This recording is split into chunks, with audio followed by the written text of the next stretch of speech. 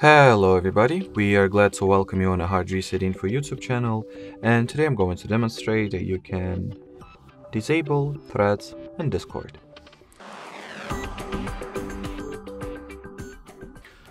So first of all open the server settings that you would like to manage, then enter the roles category, in here go for the add everyone and among the permissions find the create public threads toggle and turn it off and do the same for create private threads switch as well.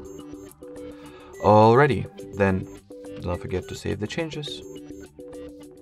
For some reason I get an error, but that's whatever. And well, that will be it. So thanks for watching and bye bye.